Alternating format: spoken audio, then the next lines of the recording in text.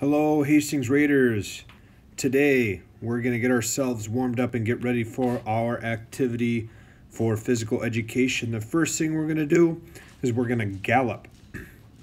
Find a space in your house or outside, one foot in front of the other.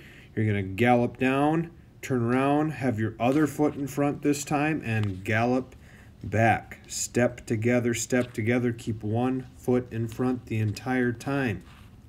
The second activity, we're going to skip.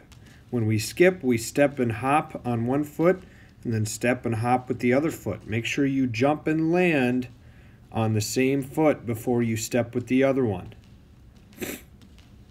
The third activity that we're going to do is we are going to shuffle. You're going to face one direction and you're going to step together, step together, but you're moving sideways. Notice that my shoulders and my toes are facing the wall and I'm moving sideways.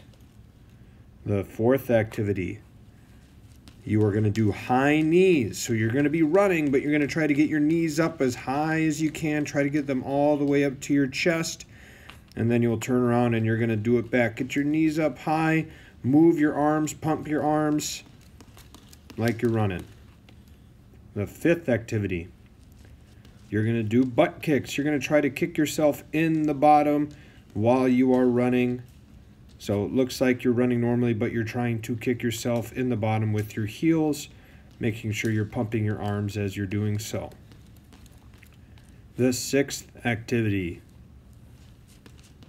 we are going to run as fast as we can to one side and then run as fast as we can back. And that is the end of our warm up. You should be breathing heavy and maybe hot and sweaty, and now you're ready.